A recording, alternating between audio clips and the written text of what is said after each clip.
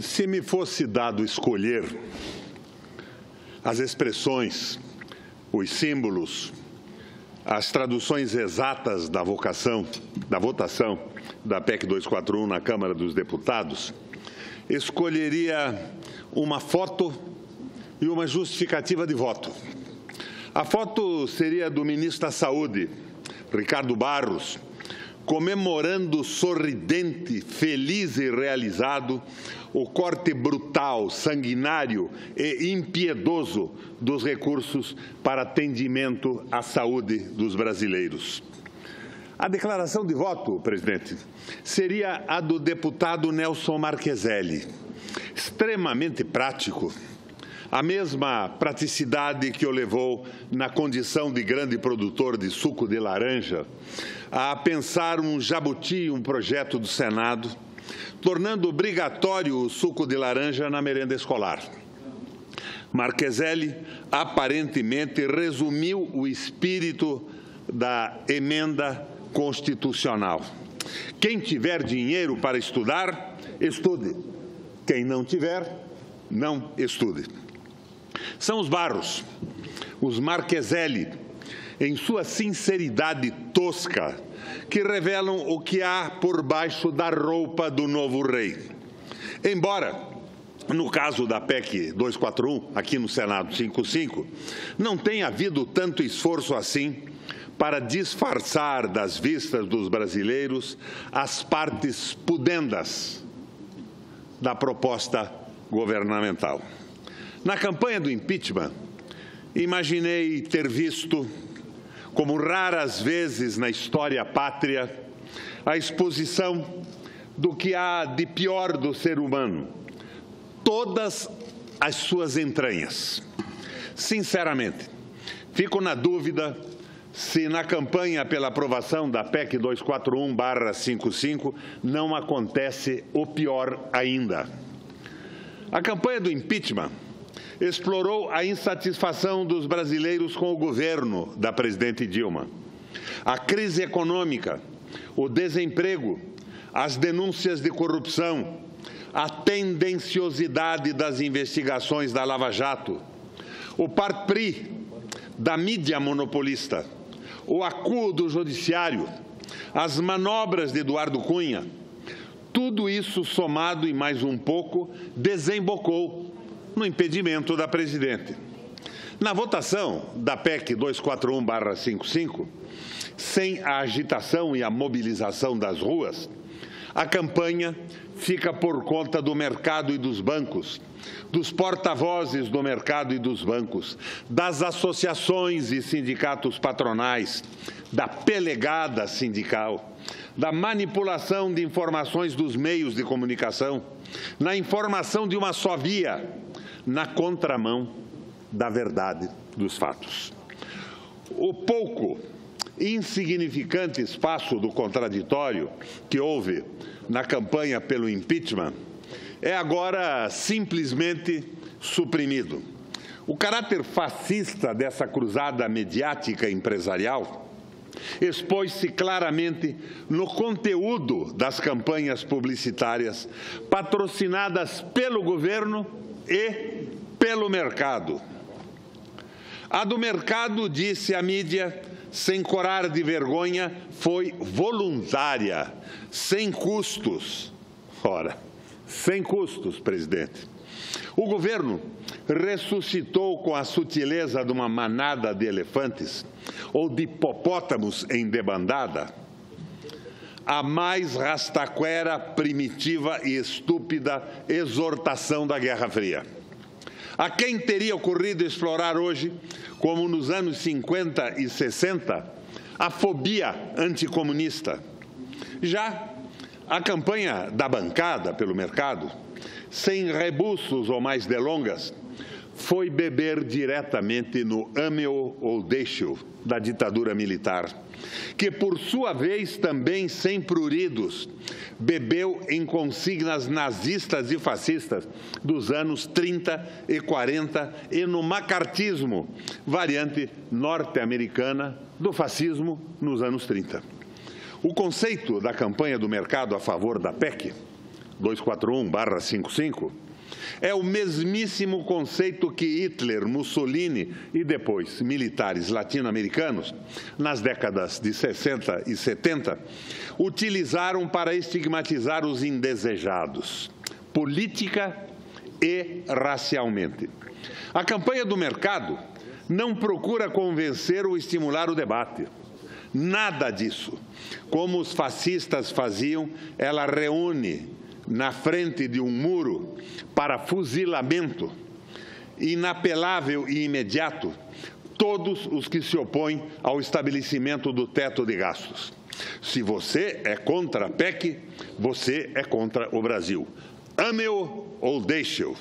E eu, que imaginei que esse tipo dicotômico, tão primitivo, obtuso e tosco, houvesse sido vencido no Brasil pela civilização. Mais ainda, eu me surpreendi com o tamanho da campanha do mercado em favor da emenda. Qualquer meio de comunicação, por pequeno ou insignificante, foi programado para receber os anúncios. Todos foram programados. Vimos, no decorrer da história recente, na Europa, nos Estados Unidos e na América Latina, que campanhas massivas como esse tipo de conceito e apelo despertaram em setores da população os seus piores demônios, impulsos rudimentares e, por isso mesmo, perigosos, assustadores. Com toda certeza, esse foi o propósito dos criadores, tanto da campanha do governo quanto da campanha do mercado. Acuar silenciar e cinetar os opositores da emenda como comunistas e traidores da pátria. Como é possível que permitamos esse tipo de campanha que simula o ódio, o rancor, pior, uma campanha que provoca a intolerância e hostilidade baseada em mentiras?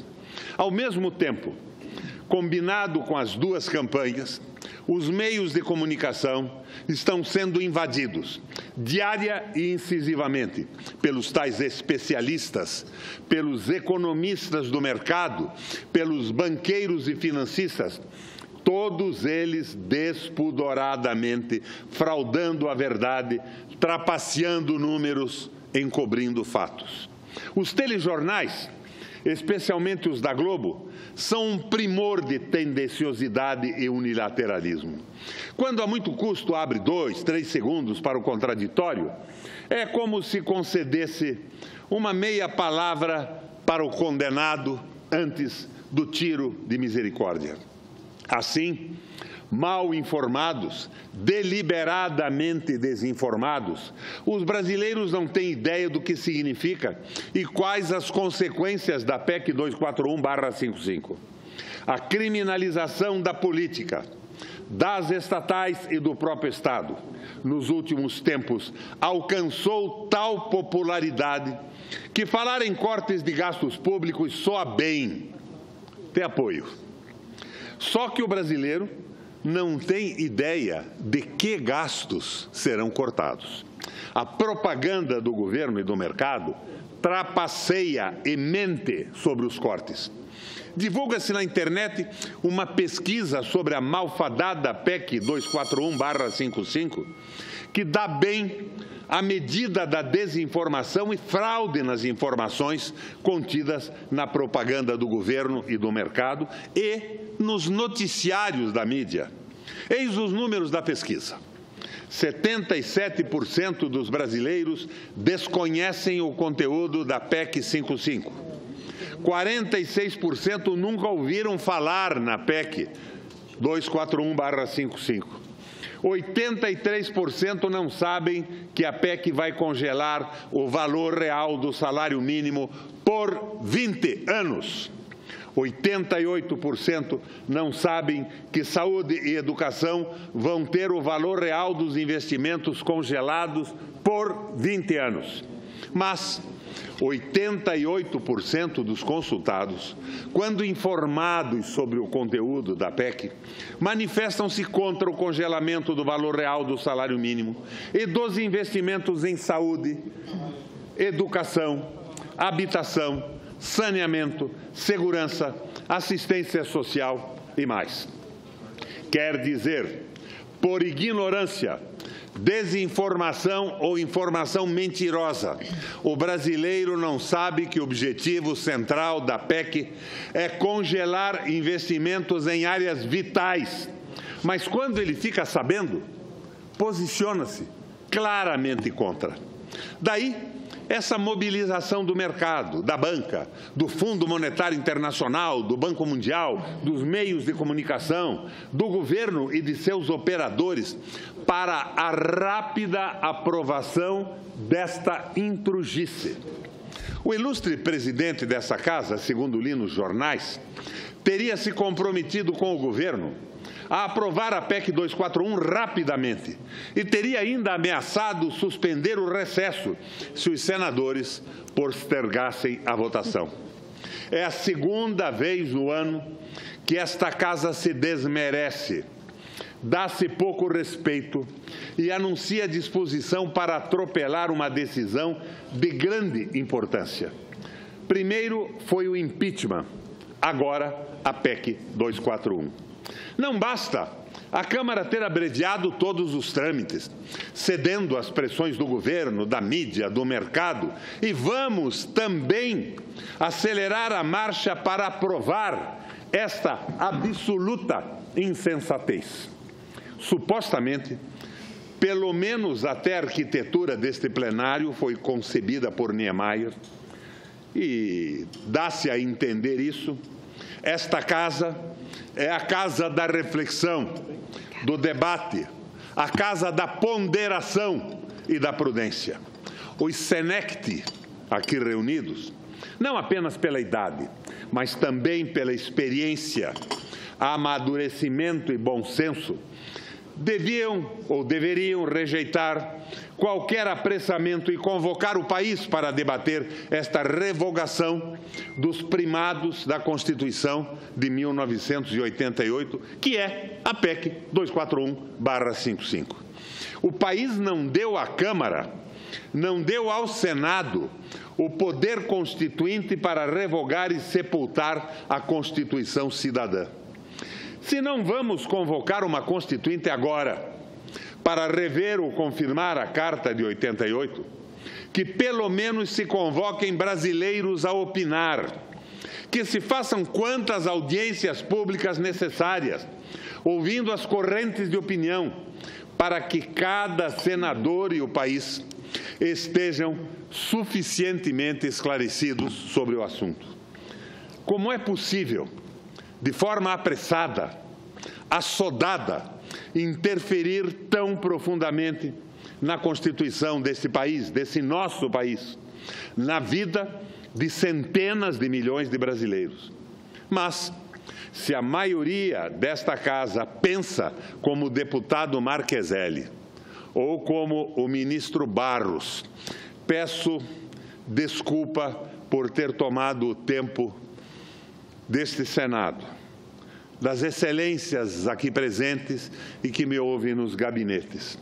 E vamos, em frente, acender uma fogueira de conflagração nacional. Permite o povo parte, brasileiro não aceitará o retrocesso providenciado por esta louca, amalucada e esquizofrênica emenda constitucional 241-55. Com todo prazer, concedo a parte à senadora Gleisi Hoffmann. Obrigada, senador Requião. Estava aqui ouvindo seu pronunciamento, quero lhe parabenizar. Eu acho que ele é muito certeiro, porque, de fato, se não tivesse essa pressa toda, se a Câmara não tivesse votado de forma assodada e o Senado não fizesse esse calendário apressado, jamais nós teríamos condições de aprovar essa PEC. Por isso que nós insistimos tanto em ter o referendo, mesmo essa casa aprovando, porque eu acho que é o que vai acontecer pelo trator, pelo rolo compressor que nós estamos vendo o governo atuar aqui, nós podemos levar o povo brasileiro para se manifestar. Não é possível que se retirem direitos da população, como se está propondo nessa PEC 55, e povo não seja ouvido. E que faça-se isso em nome do equilíbrio das contas públicas, quando não vai ser a diminuição de dinheiro para a educação, para a previdência, para a assistência que vai resolver os problemas da economia brasileira. Nós temos que entender que estamos num período de recessão fortíssimo, não é só no Brasil, mas no mundo todo, que nós temos as mais altas taxas de juro, que a nossa dívida pública não está descontrolada, muito pelo contrário, nos governos do Lula e da Dilma, o crescimento da dívida pública caiu. E nós vamos cortar agora os benefícios pequenos que nós conquistamos com a Constituição de 1988, primeiro degrau para um estado de bem-estar social mínimo para a população, Vossa Excelência tem toda a razão de estar indignado nessa tribuna. Não é possível que o Senado da República, que representa os Estados Federados, mas também a população desse país, possa chancelar uma, uma coisa tão ruim como essa ao povo brasileiro. As consequências vão ser perversas. Não é possível que a conta de desequilíbrios seja colocada para os mais pobres ou por aqueles que são mais frágeis. Eu acabei de ver uma reportagem agora no Rio de Janeiro, estão fazendo a mesma coisa que fizeram com os professores no Paraná, senador Requião. Vossa Excelência me acompanhou naquela manifestação dos professores, viu como nossos professores são tratados com cachorro, com bombas, com cacetetes. No Rio de Janeiro agora, a mesma coisa. Os servidores públicos que foram na Assembleia protestar contra o pacote que o governador mandou foram tratados assim. Agora me diga, senador Requião, como é que um servidor público não vai protestar se ele vai ter 30% do seu salário cortado? Chegam para você e dizem: olha, a partir de tal data você vai ter 30% a menos do salário, porque nós vamos precisar de dinheiro para pagar a aposentadoria. Ora, não é responsabilidade dele, a gestão não foi dele. É uma loucura o que nós estamos vendo no Brasil hoje, é uma inversão completa das responsabilidades e da responsabilização. Então, eu queria me somar ao pronunciamento de Vossa Excelência, parabenizar, e eu acho que só tem um jeito, senador Requião. A gente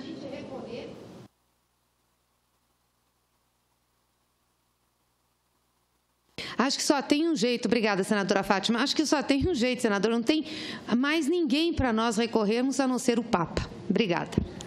Senadora, na verdade, os cortes não são para pagar a Previdência. A Previdência é uma carga menor na dívida pública. Os cortes são para pagar a banca, os rentistas e os juros. Tanto que esta PEC autoriza cortes pesadíssimos em saúde, em educação, em salários, mas libera o pagamento dos juros escorçantes da dívida pública e deixa o Copom e o Banco Central, que fixam a taxa Selic, que é a taxa de referência do Brasil, na mão dos banqueiros. Meirelles é banqueiro, Ilan Goldfai é banqueiro, do Banco Itaú, ex-chefe da economia do Itaú. O outro diretor é indicado pelo Bradesco. E as taxas de juros são as mais altas do mundo. 6,8 no Brasil, 2,8 na União Soviética. E a banca carrega essa taxa, eh, taxa estimada de 14%, 6,8%, retirando a inflação e o spread que eles colocam. Ela coloca um spread simplesmente brutal, de 14% no cartão de crédito, vai para 481% ou 483%, e no cheque especial, 230 e poucos por cento. Então, na verdade, estamos estabelecendo o governo, o mandato dos bancos e do capital. Isto num momento em que a Inglaterra votou o Brexit para sair da mão do domínio do capital financeiro. No momento em que o Trump ganha a eleição dos Estados Unidos, porque se coloca, pelo menos teoricamente, a favor do capital produtivo e enfrenta o Wall Street e o capital financeiro que está mandando no país. No momento em que Trump contesta a globalização que tira emprego dos americanos para investir em projetos industriais em países onde o salário do trabalhador é aviltado e os impostos são baixíssimos para aumentar o lucro dos detentores do grande capital, ao tempo em que, nos Estados Unidos, por exemplo, marginalizam os trabalhadores e massacram os ganhos que vêm descendo a cada ano. E nós estamos repetindo essa bobagem. O sonho do nosso governo era Brasil, celeiro do mundo. Agricultura mecanizada e intensa, que desemprega de forma brutal, não emprega ninguém. Então, seria o celeiro do mundo com o desemprego dos trabalhadores do campo. E o sonho de que o capital, basicamente norte-americano, investiria no Brasil para aproveitar o salário mínimo degradado, a CLT revogada e uma diminuição brutal de impostos. O que não acontecerá porque não ia acontecer mesmo e porque o Trump está exigindo investimentos como presidente dos Estados Unidos no território norte-americano.